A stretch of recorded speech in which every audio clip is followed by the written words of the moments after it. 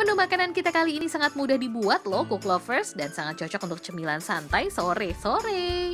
Ini dia, matcha puding. Langsung aja kita intip dapurnya ya Cook Lovers. Let's go!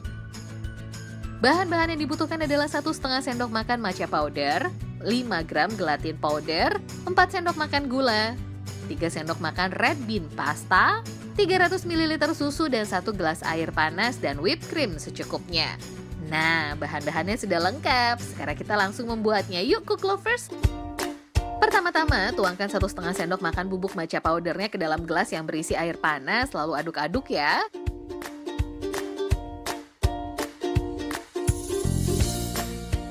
Kemudian masukkan 5 gram gelatin powder ke dalam air dan aduk-aduk hingga larut.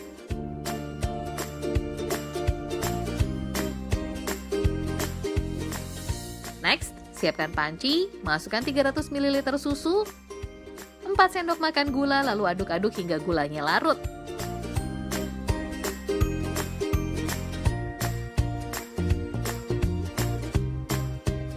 Kemudian masukkan larutan green tea bubuknya tadi, tapi jangan lupa disaring ya cook lovers.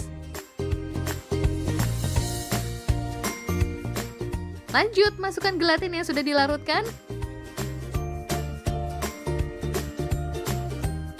kemudian masukkan 3 sendok makan red bean pasta. Oh iya, jangan lupa aduk-aduk ya hingga semua bahan tercampur rata.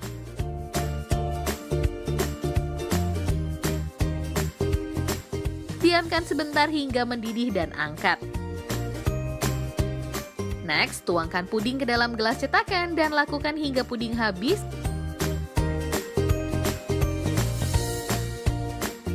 Lalu masukkan puding ke kulkas selama kurang lebih 30 menit ya. Yeay, matcha pudingnya sudah jadi. Saatnya plating. Siapkan talenan saji, taruh puding di atasnya. Tambahkan whipped cream.